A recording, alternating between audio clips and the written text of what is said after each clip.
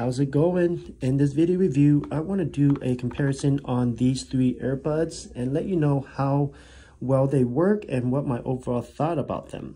So first of all, you have this J5. The case is nice and, you know, blocky, very big compared to the other two. Um, it fits in, into your pocket a little bit too uh, big for my liking but I love the the case overall. It has a display in front. Right now it's um, out of battery, but it does light up. These two will light up right now if I open it up. There you go. And this one as well. There you go. Overall, three cases. If I had to choose which one I like better as far as just cases wise, I like this case a lot because it's nice and slim and it's the smallest. It can fit into your pocket nice and comfortably.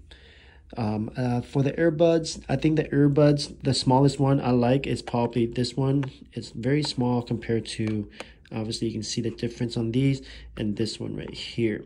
The biggest earbuds right here is this J5 one. It's big and long as well, but they're very comfortable. This S43 is also very comfortable and I have to say out of the three, this S43 has the best quality and sound. Comfort wise, this U Pro one is the most comfortable out of the three, but I think the quality overall, this J5 quality is outstanding out of three. So yeah, overall, if I have to choose as far as case, comfort, and quality, this U Pro right here would be my choice.